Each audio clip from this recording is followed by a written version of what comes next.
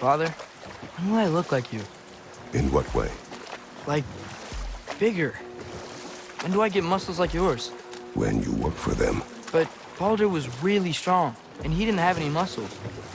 My strength does not come from my body, but both are honed by discipline. What's that mean? Means you've got the strength of a god no matter what, lad. But if you want the physique of one, you'd better start picking heavy things up and putting them back down. I love this. Yo there dudes and dudettes, your friendly neighbor Jax Blade is back and I've been playing some God of War Ragnarok. Along with some Sonic. And I love the message Kratos and Mimir give Atreus of the difference between building a body that looks like a pillar of work went into it and having the deity level strength of a popular 80s action figure.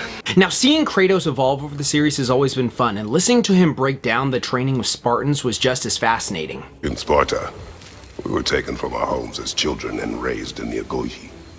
We marched or we drowned, fought for scraps or starved. Our elders beat us till we could not stand. At night, we made our way home, alone, or were food for wolves. That is how Spartans are made. Now there are actually a ton of great videos in depth on real life Spartan training and not just, you know, the Gerard, oh my abs are so sexy type stuff. Like the people who made God of War actually did their homework and I really respect them for that. They really nailed a bunch of stuff they had to go through from childhood to chisel marble bod adulthood, which you can even see in certain flashbacks from previous games and what Kratos talks about in this game. Though, while Spartans are primarily lean and mean, Kratos looks like he could step on stage with the Governator at some points. Kratos! You son of a bitch!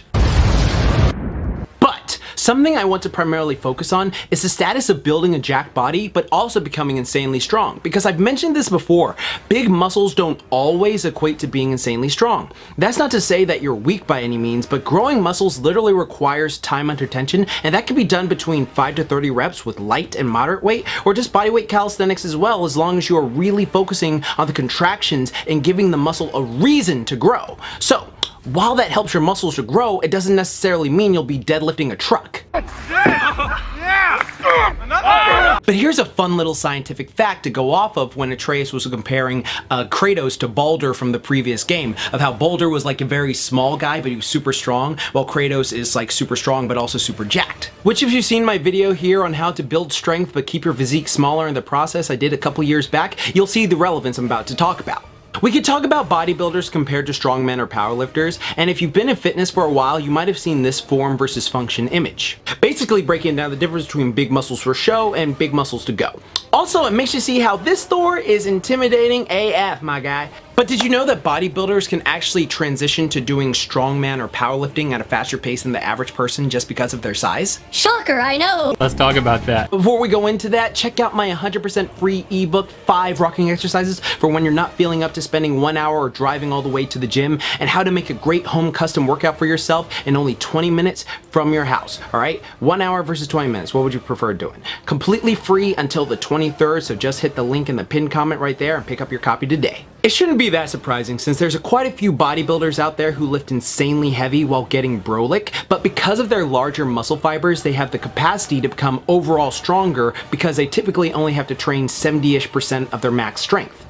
Once they focus on maximal strength work for a while, they are able to train their muscles to activate a greater percentage of the fibers, especially since they are already trained to lift moderately heavy weights. Now, that's not to say that they could do something like, you know, Olympic lifts, because there's a lot of mobility and technique that goes into that, but they could conceivably become very strong powerlifters or very strong strongmen, because strength work is just largely learning how to use the muscle that you already have, like I talked about in this video on the different types of strength, and if you haven't seen it, go watch it and tell me which type of strength you are and which is like your best forte. You do get some hypertrophy off of it, you know, muscle growth, but it's not as much of course. So the idea of Kratos actively going out lifting heavy random things in his spare time to get them Aphrodite ready muscles Come on, go! Let's go!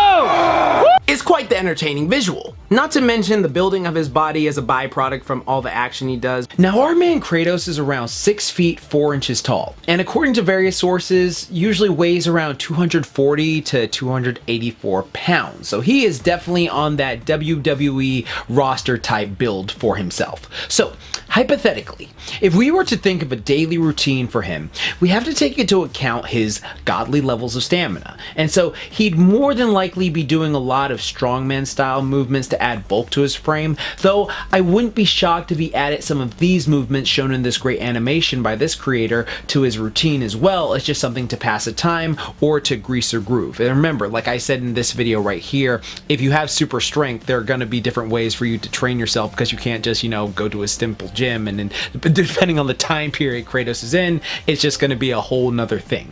But let's talk about greasing the groove real quick with Kratos. For people who don't know what greasing the groove is, it's when you do movements over the course of the day rather than exhausting yourself all in one session. So Many people have seen great results using this method to grow themselves if they don't have time for hour sessions every day. But again, this is all hypothesis because Kratos could most definitely be doing, you know, a variety of physical activity for himself. Like there's he does so much stuff on a daily basis where he's taking care of Atreus, he's fighting like different gods, he's fighting giants, he's fighting monsters, he's doing all this different stuff. So there could just be so many other things that he is doing with himself.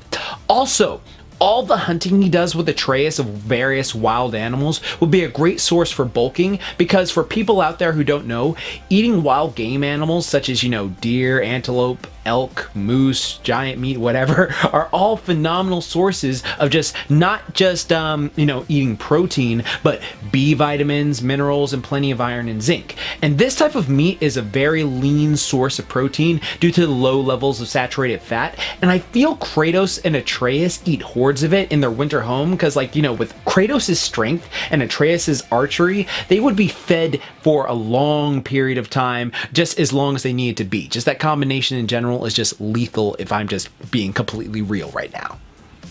Anyways, have you played God of War Ragnarok yet? If so, tell me what you think of it. Also, tell me if what your favorite God of War game is so far. And just if you haven't played God of War, you should definitely check it out. I think it's really, really worth it. Also, if you watched this video all the way through, be sure to type Godly Gains down below. It lets me see who watched the video all the way through. Of course, I like that. And be sure to hit that bell icon and subscribe. And be sure to hit that like button. All these do so much to help the video out. My channel actually had a nuke recently, so I lost a big chunk of subscribers. I was like, oh my God, what the heck happens? But then like I'm learning like, oh no, I just, I, I, I'm still here. It's just YouTube getting rid of a bunch of bots, so I'm trying to recover from that. But again, if you watch this far, any like interaction with this video helps me out a lot. I really appreciate it. Also still working on the Mega Spider-Man video, but also working on a TMNT movie video in the same vein of my Mega TMNT video because I've just had fun with that. Also just a bunch of stuff I've been doing, so be sure that you hit that bell icon, subscribe so you do not miss any of the content. But again, thank you all so much. I really appreciate y'all. Y'all are my Spartans. Every time I see the videos and stuff like that, like I appreciate every single one of y'all, so never forget that. But anyways, like I always say, keep calm,